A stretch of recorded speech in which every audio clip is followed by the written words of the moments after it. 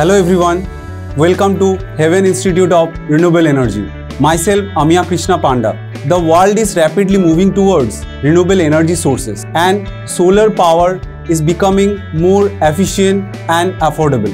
The demand of the solar energy professionals is on the rise. Our goal is to prepare industry ready professionals for the solar industry. Hi everyone, myself Keyur Rakholia. At Heaven Institute, we are committed to grow our students' successful career in the field of renewable energy. At Heaven Institute, we offer range of training programs which are online, physical and live masterclass. Our training program will definitely take your career to the next level.